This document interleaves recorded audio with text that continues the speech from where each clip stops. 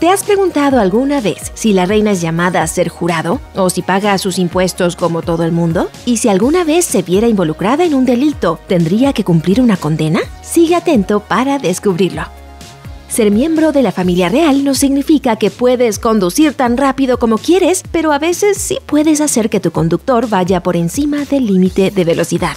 Un representante del Departamento de Transporte explicó para The Sun, los límites de velocidad no se aplican a ningún vehículo con fines policiales, bomberos, de rescate, ambulancias o de la Agencia contra el Crimen Organizado Grave si la observancia obstaculiza el uso del vehículo para el fin que se está usando. Dado que los miembros de la familia real son conducidos por la policía mientras llevan a cabo asuntos oficiales, se puede decir que tienen un poco de libertad para infringir los límites de velocidad según esta ley, pero no se aplica cuando van por su cuenta. En el 2001, la princesa Ana fue multada por conducir por encima del límite de velocidad.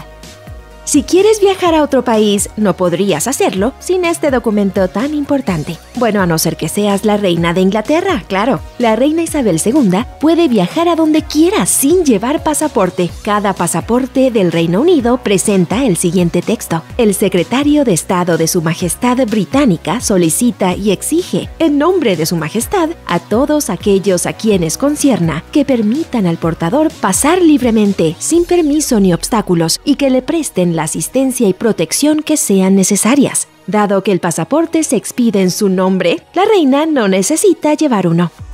De seguro nunca nadie le pedirá a la reina su identificación, ya que es una de las personas más reconocibles del mundo. Y esto es bueno, ya que demostrar su identidad tal vez le sea muy difícil. Ella no solo carece de pasaporte, sino que tampoco tiene carnet de conducir. No es porque no conduzca, ya que lo ha hecho desde la adolescencia, pero no está obligada a pasar un examen de conducir ni a tener un permiso para ello. Este privilegio solo se aplica a la monarca. El resto de la familia tiene que pasar el examen de conducir y llevar un carnet como todo el mundo. Aunque, de todos modos, la reina no aprovecha mucho esta ventaja, ya que se limita a conducir en sus propiedades privadas. A diferencia de la mayoría, muchos de la familia real no necesitan usar apellido. El rey Jorge V cambió el nombre de la familia por el de Windsor en 1917 para evitar los sentimientos antialemanes de la época en torno a su nombre de Sajonia-Coburgo y Gotha, que sonaba muy alemán. El apellido actual de los descendientes de la reina Isabel II es Mountbatten-Windsor, pero no lo usan si su título es Su Alteza Real Príncipe o Su Alteza Real Princesa. Cuando usan un apellido pueden elegir algo distinto a su apellido real como la designación territorial de su familia. Como hijos del príncipe de Gales, los príncipes William y Harry entraron en el ejército con los nombres de William Gales y Harry Gales. En teoría, la reina podría salirse con la suya. Aunque la familia real no está por encima de la ley, su sitio web oficial afirma que no se pueden emprender acciones civiles ni penales contra la monarca. Si la reina Isabel infringiera la ley, nadie podría hacer mucho al respecto. Esta es una ventaja que podría ser peligrosa en las manos equivocadas. Un monarca en esta posición no solo podría abusar de su poder, sino que su mal comportamiento también podría provocar una revuelta en el Reino Unido. Afortunadamente, la reina reconoce que su poder trae una gran responsabilidad. El sitio web real asegura, la reina tiene cuidado de que todas sus actividades a título personal se lleven a cabo en estricto cumplimiento de la ley.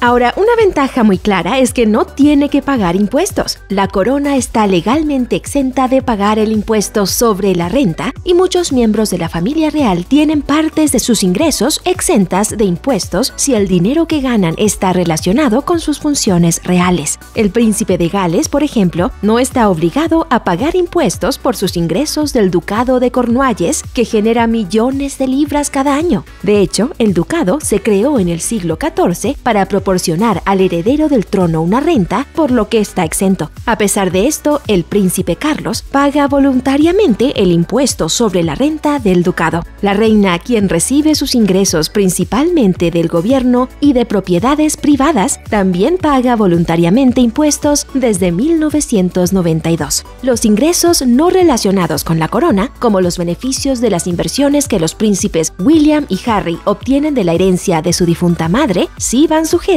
a impuestos. I think there's a number of things I've got my fingers in many pies at the moment that I want to keep an eye on.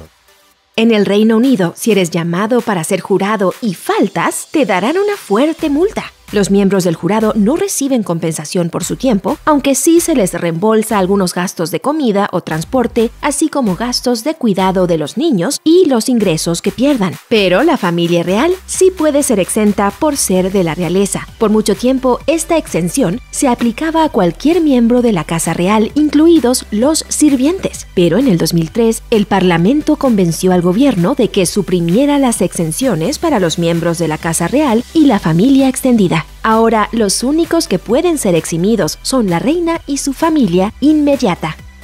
En el Reino Unido, si quieres ver televisión en vivo, tienes que comprar una licencia, que es algo independiente a las tarifas del cable. Ver televisión sin licencia puede traer una gran multa y gastos legales. En el 2013, el periodista Gordon McIntosh escribió a la BBC para preguntar si los palacios reales también deben pagar esa licencia y si la realeza podría ser multada por no tenerla. La BBC se negó a revelar los detalles alegando que la información era privada. Por ahora, la pregunta de si ser de la realeza te exonera de tener que tener una licencia de televisión seguirá sin respuesta.